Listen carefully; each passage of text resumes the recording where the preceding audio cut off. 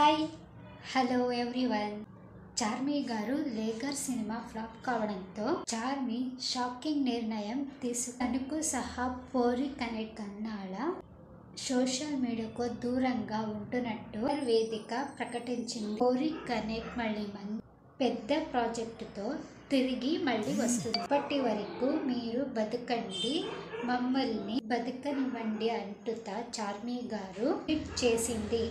ఈ నిర్ణయ వెనుక ఉన్న కళలు తెలుపలేదని మాత్రం తెలుపలేదు చార్మి గారు. అదుమైన కానీ మళ్ళీ కొత్త సినిమాలతో రాగానే రావాలని మేము ఆశిస్తున్నాము.